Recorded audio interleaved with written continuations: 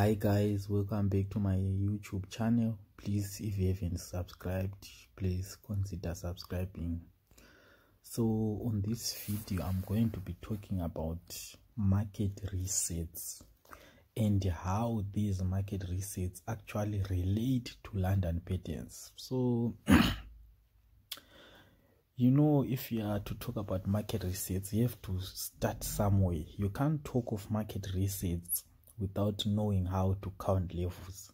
So please do not watch this video without watching my videos my videos on accounting levels using part one moving averages and then it's part two using the tdi because that's a very important concept you should understand before we talk about market resets. So what are market resets we can actually talk of market resets as being as being a way of BTMM of doing top-down analysis. So market resets are BTMM way of what of saying top-down analysis.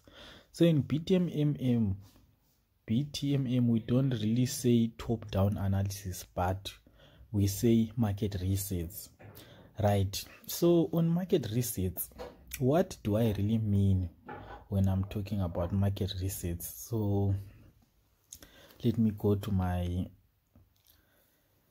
galaxy notes so that i can explain what i will be talking about the theory part so that you understand the concept because these things guys they're about the concept. So what am i talking about guys so uh, on this video market resets. So we should start by what? Counting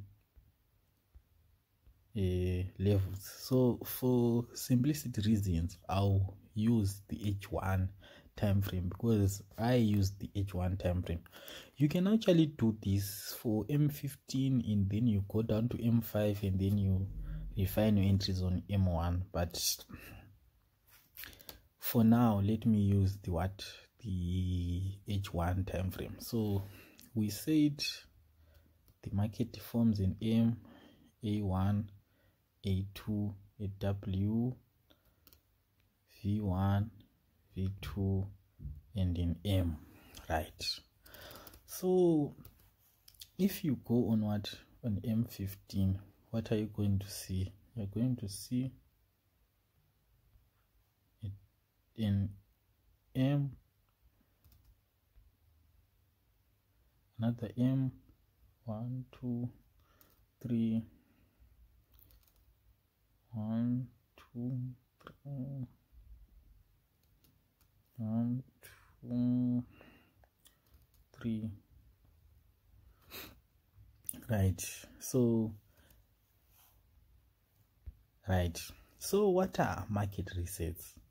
So market resets i said they're a way of doing top-down analysis. I know i tried to introduce this concept on on the previous video on how to count a btmm method using the tdi so you can think of market resets as a way of doing top-down analysis. And we said remember if you actually watched the video on use, counting levels using moving averages you also note that one level on h1 is equal to three levels on m15 so what am i talking about? I'm saying this is equal to three levels. Here this is equal to three levels. This is equal to three levels so as for this part i couldn't finish drawing so you'll be expecting something like this. This is the structure you'll be expecting to find there. And so right as i have talked about these market resets now there are two types of market resets. There is type 1 which is called a non-confirmed market reset and then we've got what we call a what a confirmed market reset. So, what is, is the difference between a non confirmed market reset and a confirmed market reset? So, the difference really lies on where you find these market resets. So, a market reset, a market reset, the normal one, which is the confirmed one, is usually found these points. So, we said on M1 we have this drop and then a pullback.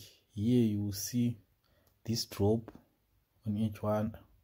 On m15 you see these three levels and then a pullback. So we're saying on m15 you will see a peak while least on h1 is really a pullback. But on m15 it's what? It's an m. So it's sort of like on m15 it helps us to do entries. You get the this is the top down analysis part of of market resets so like i said this drop this will be equal to this. It forms a a w there it reverses and form another peak there and then it moves down on m15 so this is what we call a what a confirmed a confirmed market reset so, what is a non confirmed market reset? A non confirmed market reset is usually seen when we've got a reversal on the time frame of analysis. Let's say you count levels using H1. So, if there is a reversal pattern on H1, like an M or a W, you know that on M15 you see a what? A non confirmed structure. So, a non confirmed structure, we're really saying Remember, you have to watch a video on how to count levels using the TDI. We're saying if you see an M on H1, we're saying this is equal to this. This neck of the M is equal to a W and M15. This second leg is equal to another peak. Is it clear?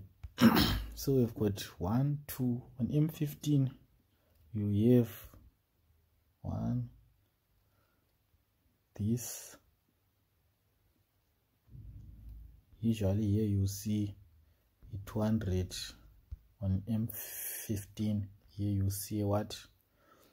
A 50 on h1 but anyway this is not what i, I want to zone in about. I want to zone in on market resets. So now we've got a what? Non-confirmed market reset in the what? A confirmed market reset so why is this um, impo- why is it important to know about market resets for you to make trades on btmm you must understand the concept of what of market reset so without wasting your time let's go to charts so that you don't say hey i wasn't told what what what. So let's go to the charts. Right. This is a very good example of what of ways you can use a market resets so i said you've got two types of market resets a non-confirmed market reset and a confirmed market reset i said a confirmed market reset is used to to confirm trend continuation. Therefore, it means that if you are to trade confirmed market resets, it means if you are looking, let's say you are looking at the one, one hour time frame chart, you are expecting that all moving averages are fanned out or are above the price. And number one, it's not a peak. If it if it is a confirmed market reset, it is not a peak trade. So and then if it is a non-confirmed it is used to trade for entries on reversals so what am i saying right if you watched your video on counting levels using the TDI, I said if the red line crosses the yellow line, that's a peak, right? You look at the chart if you see that there was no 13 and 50 cross you know that that's a peak trade so a peak trade is equal to red line crossing yellow line plus there is no 13 and 50 cross on the price so that would definitely mean that your bias is selling but then the price or the charts have not yet confirmed that we are what we are selling which is different if you are to talk of this area here. This whole area means that on h1 there was 1350 cross were already going down. The 200 ema was above the 50 was above 13 was above there was 13 and 50 cross. Definitely this was a what? A sell trade. And so this was a confirmed market reset. This was not a conf this was a non-confirmed market reset. So what am i saying? Let me go on m15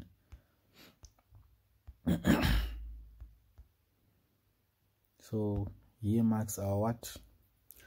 Our peak. So we're saying on m15 we expect to see a non-confirmed market reset. So what am i saying? We expect to see and as you can see let me cancel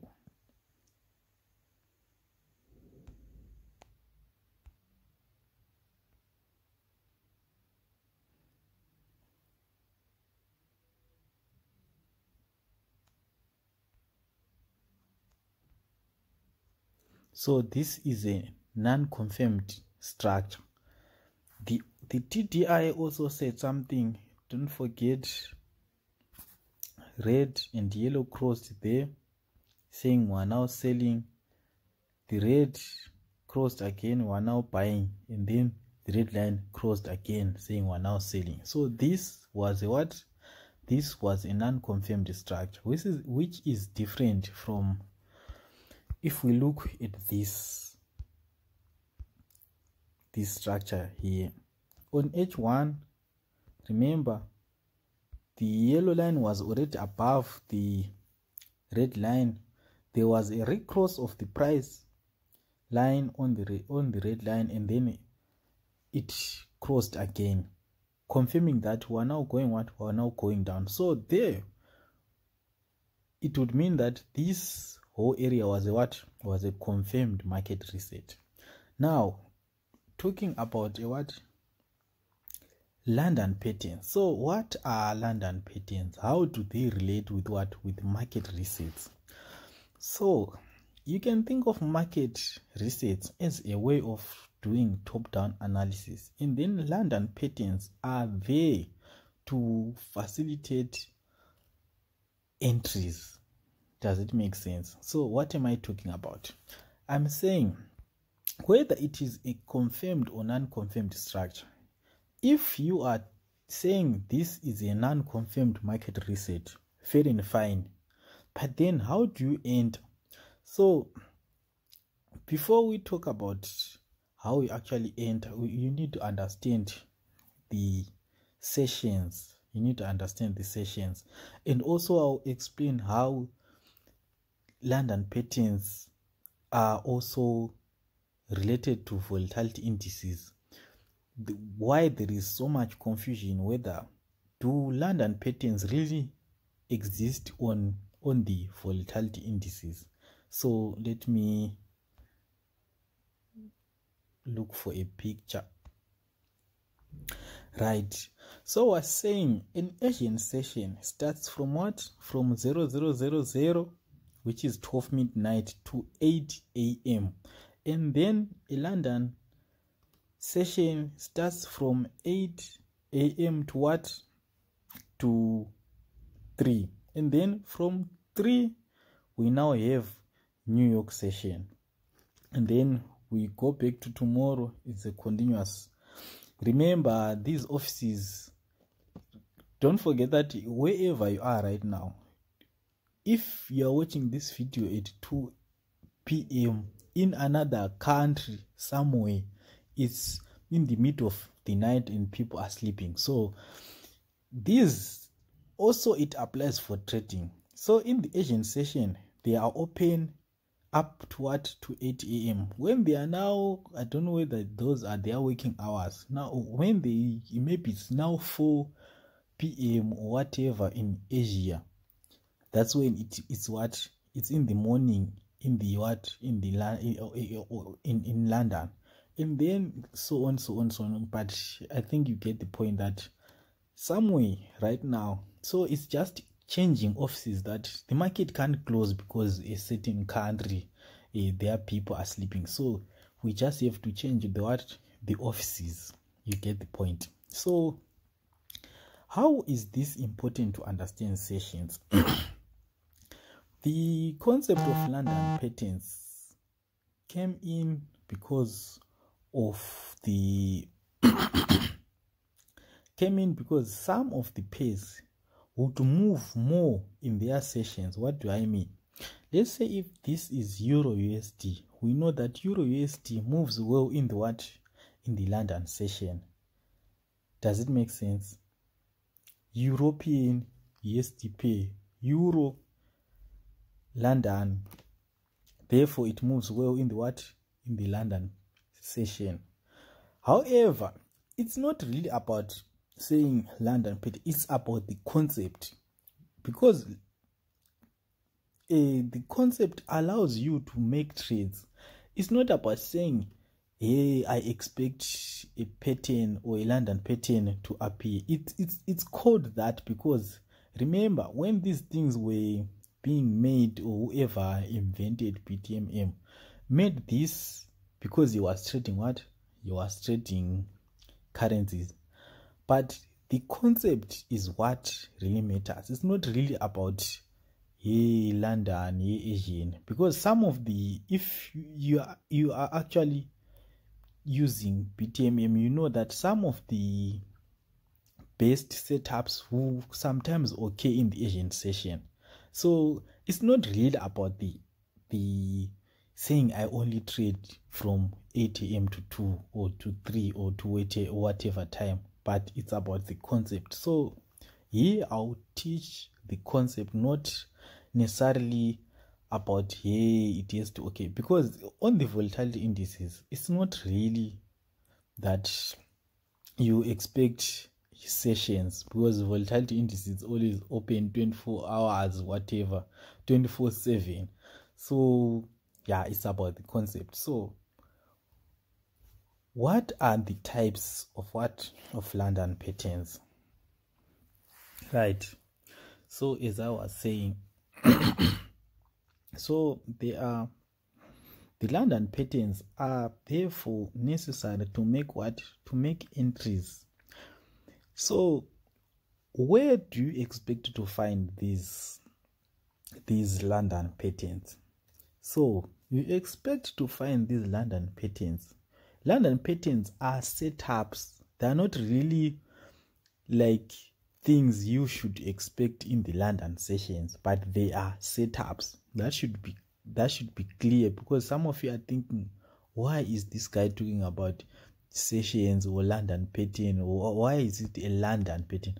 Like I said, it's called London because people who first introduced this, they were trading currencies, and among these currencies, some of the pairs move well in the London session. So they thought these setups only present in the what in the London sessions. Therefore, they are called London patterns. But in reality, these are just setups which were popularized because they only occurred in the what in the London sessions. I hope it makes sense.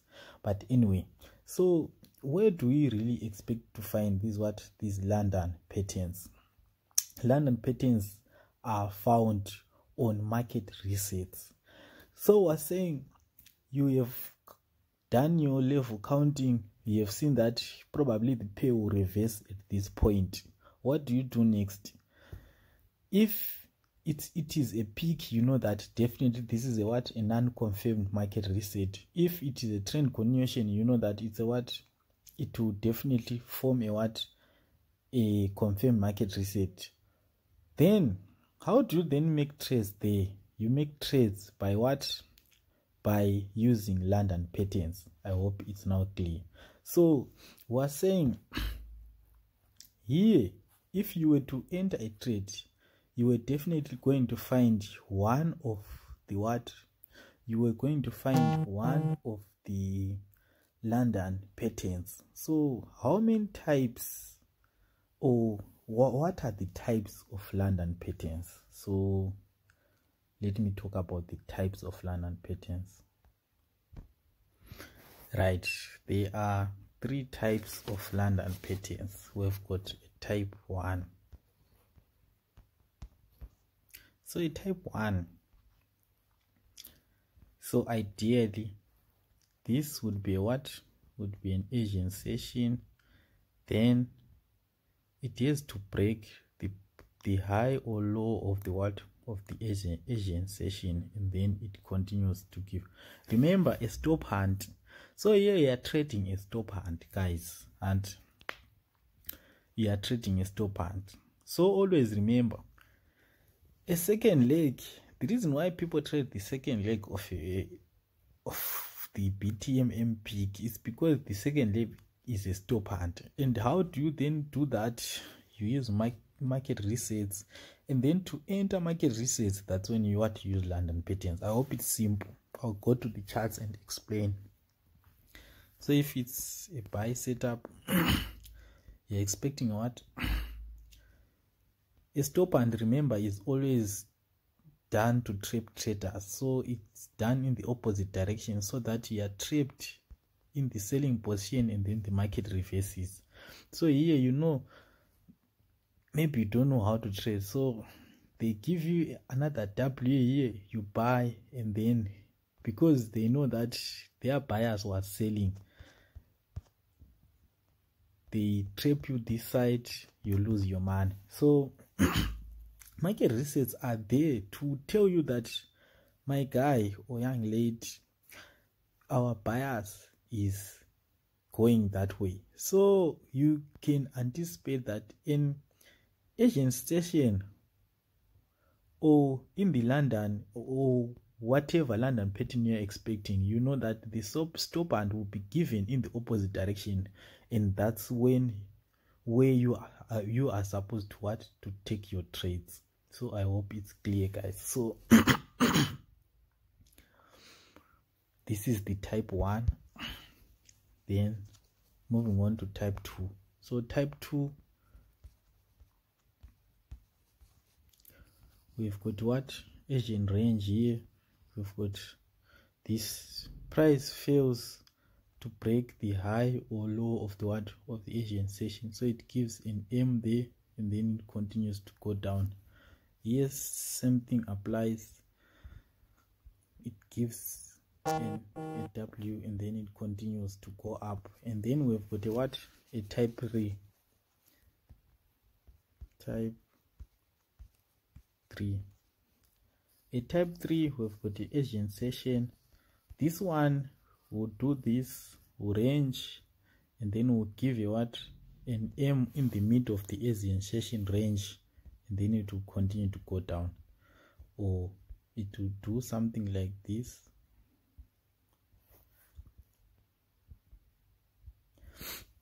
So yeah those are the three types of what? Of london patterns. So why is it important that you understand these london patterns. Now we're now going to the what? To the charts so that i show you how you approach a trade when you're what? When you are facing these these the market when you're faced with the market with the broker. So let's go to the charts. Right. Now that we now know about market resets and london patterns now how are the two related? So let's look at what let's look at this pair. So on this pair we see that the red line and the yellow line have crossed.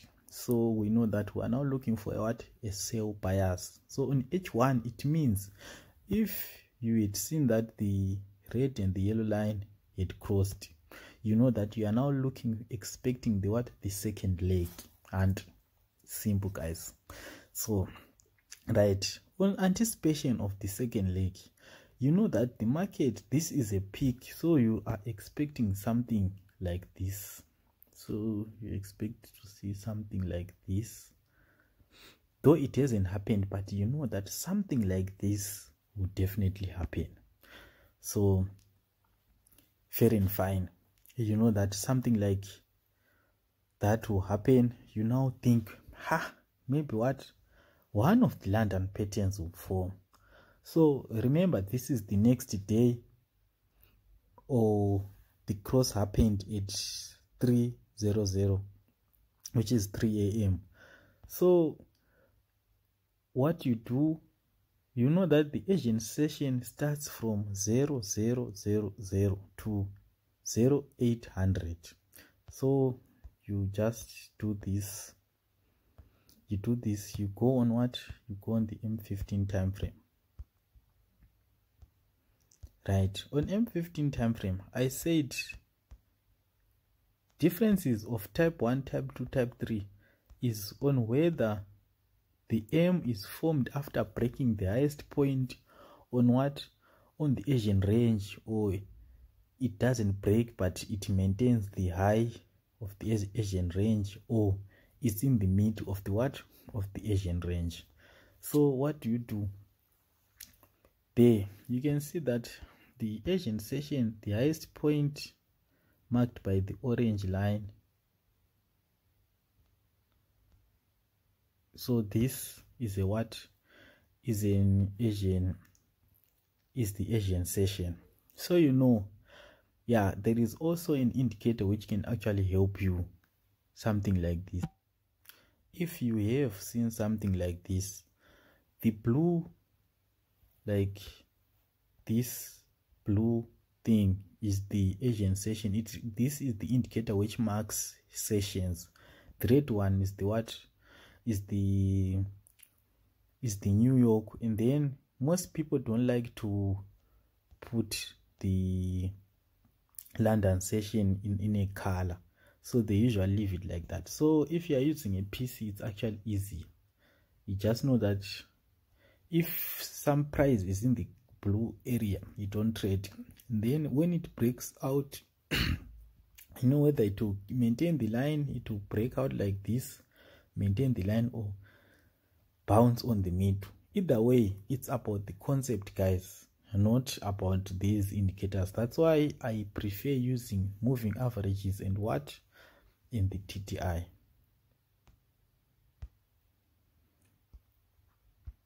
right. Now that you have marked the what the session you see that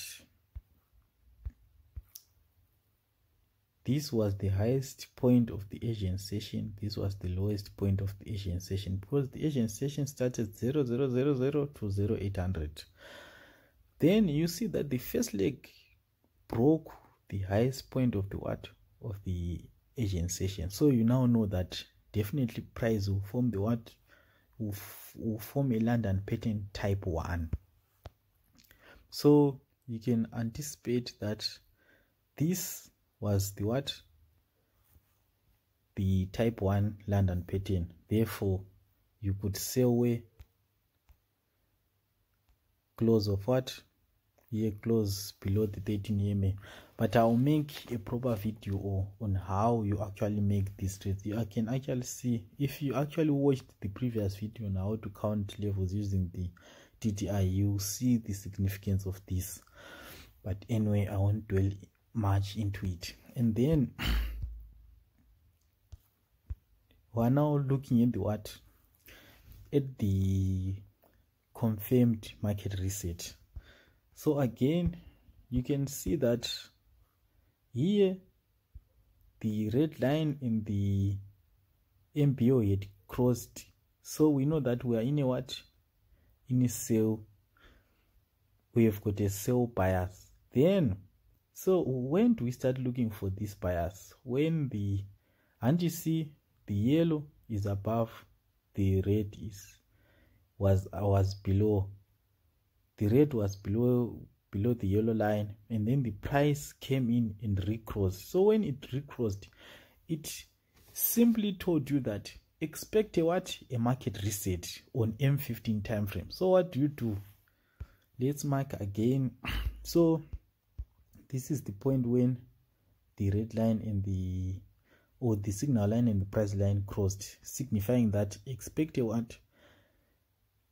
Expect a market reset on m15 time frame so what do you simply do? You do this. 000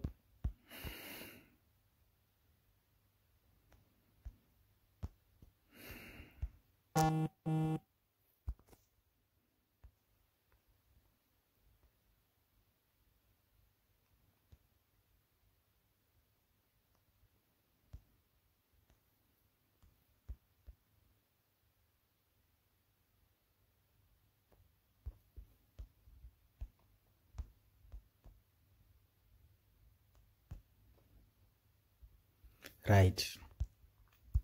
As you can see this was the lowest point of the what? Of the asian session. This was the highest point of the what? Of the asian session. Then the price moved out just to trap those who don't really know what they are doing. Remember the yellow line was above this signal line so we're in a downtrend. So we're expecting what a market reset. And to enter such a trade we said you must look at london patterns. So here you see that price bounced on the highest point. So it failed to break the highest point of the what of the asian session meaning that this whole structure was a what was a london pattern type 2 does it make sense? Here it price went down. Right let me look for another currency pair.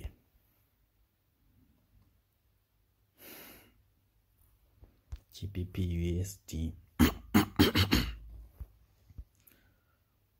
ah let's talk about this structure. Yeah let me look at this one. So here as you can see we always start from the what? We always start from the right. Again we talk of the what? Of sessions. Luckily here i had marked everything so it will be just ease so number one we start with the what? With the yellow line being below the red line. So it means we're in a uptrend. And number one so you are expecting market resets. So for starting from here you know that this was a confirmed market reset. As for these other two these were what? These were non-confirmed market resets. Because there was no 13 and 50 cross. However the tti was saying we're now buying. So it means that's a peak on h1 and on m15 you're expecting what? A non-confirmed reset. I hope everything is now coming together. I hope everything is now coming together. So here you know that when the price line crosses the signal line it it is simply telling you that my guy expect a what? A market reset here the 13 and 50 have crossed. So we're expecting a what? A confirmed market reset not a non-confirmed. Non-confirmed is for peak trades only. And what is a peak?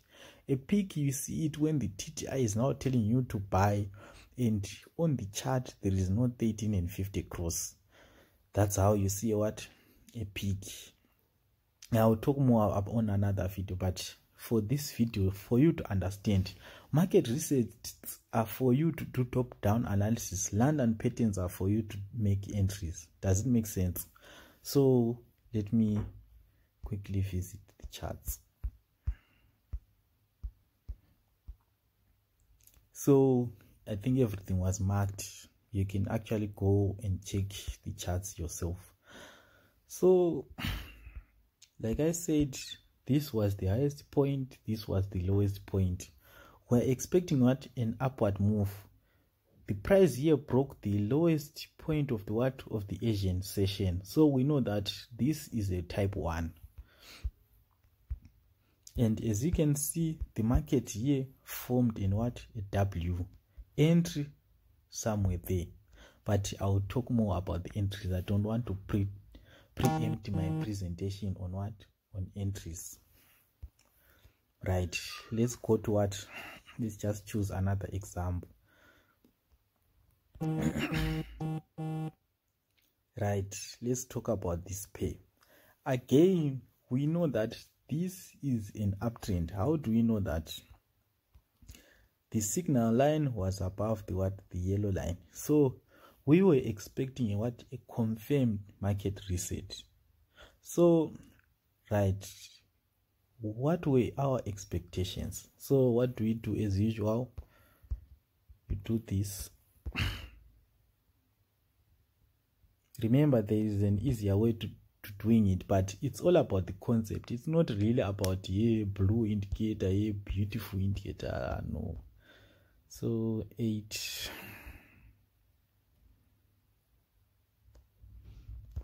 8 a.m then the highest point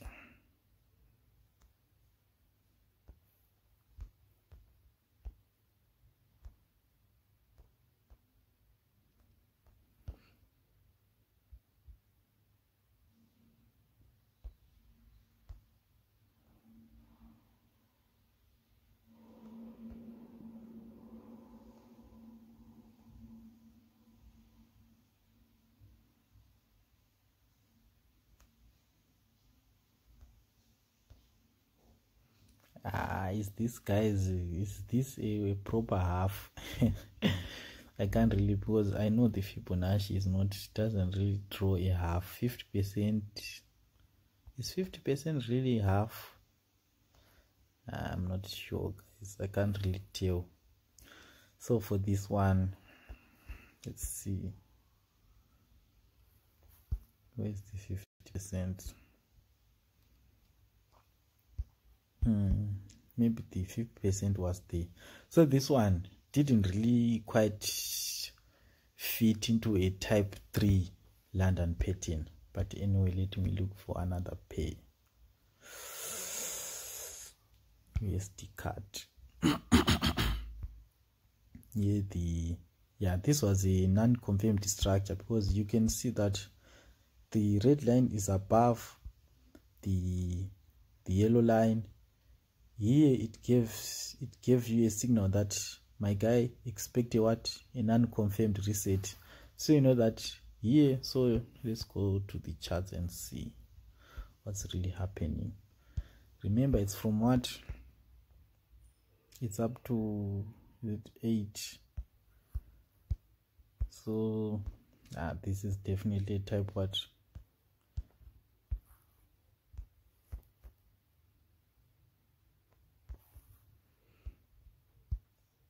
yeah this is definitely type 1 i i can't be repeating myself guys. All right let's go to volatility indices.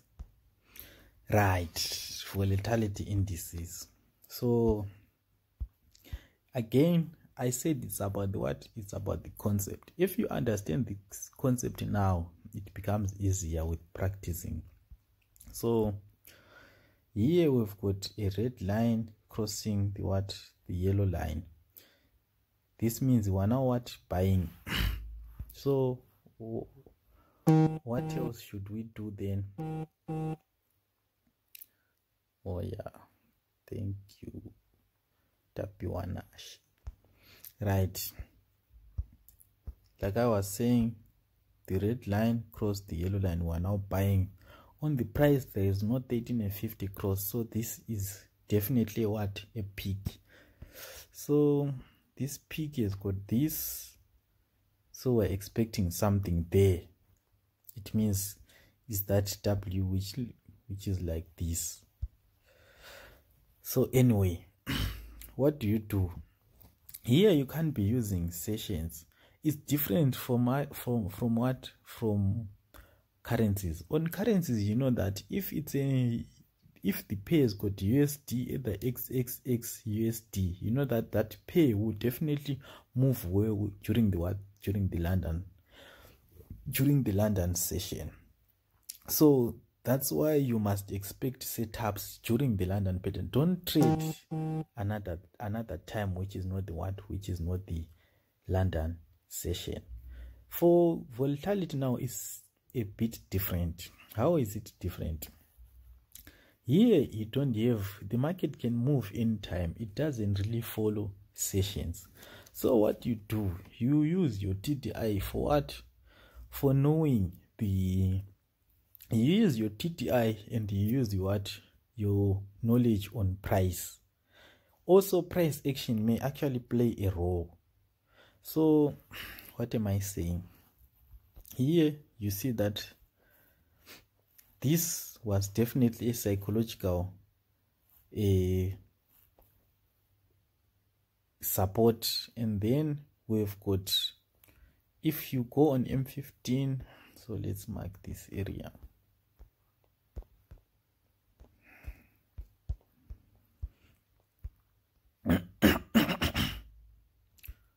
So like i said here you know that so you're using many things guys but the btmm is enough. And so you know that this was a what? So we've got something like this. The tdi the tdi the tdi remember i said a peak on m15 is seen by what? Is seen by cross of red line in the yellow line or the MBO, bar, MBO line. That also applies to every example I was giving.